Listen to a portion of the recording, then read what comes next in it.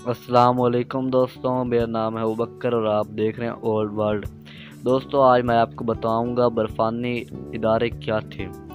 बर्फ़ानी इदारे वक्त के तवील दुराने थे, जब सर्दी इस कदर ज़्यादा थी कि बर्फ़ ने कुतब शुमाल से फैल कर यूरोप, एशिया और शुमाल अमरीका के वसी इलाकों को डांप लिया था।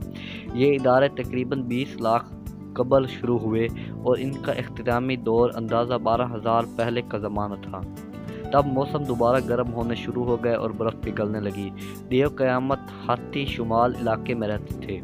इनकी उन खाल इन्हें गर्म रखती थी। आखिरी बर्फ़ानी दौर के बाद आबो हवा इनके लिए बहुत गर्म हो गई और वो मध्यम हो गया।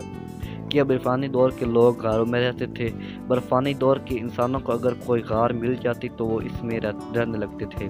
वो लोग दरख्तों की शाखें, हाथियों के देव क़्यामत, हड्डियों और इनके दांतों पर खाल लपेट कर चुब्बी झोंपड़ियाँ बना लेते थे। पहली फ़सल गंदम और जो थी, जबकि पहले ज़रिए जानवर, बकरियाँ और भेड़ थी।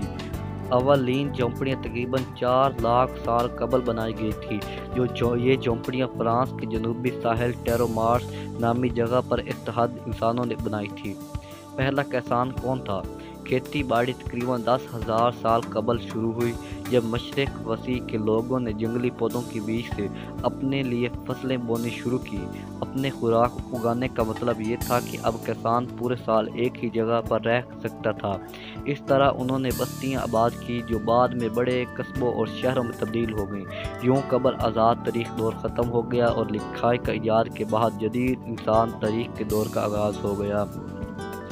अगर दोस्तों आपको ये वीडियो अच्छी लगी हो तो आगे शेयर करें, लाइक करें और मेरे चैनल को सब्सक्राइब करें। खुदा फिर आप मिलेंगे